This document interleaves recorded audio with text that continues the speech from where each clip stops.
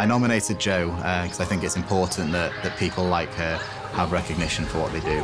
A constant enthusiasm and, and dedication for, for what she does for, the young, for these young people um, is unrivaled in this area. Um, she turns up every Friday, week in, week out, making sure there's things for, for these young people to do on a Friday night here. As a person, Jo's really patient and she's calm with everything. She's she's good like that. She's so nice to everyone.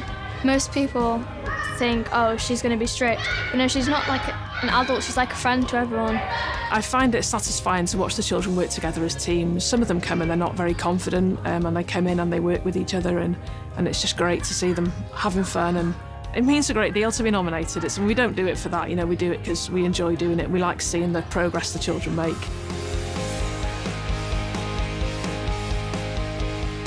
I'm Tony Humphreys. I'm a volunteer with Swansea YMCA Good Vibes Group, which is an LGBTQ plus youth group, working with and supporting young people from all different backgrounds, um, communities, and just support them, give them a safe space to be.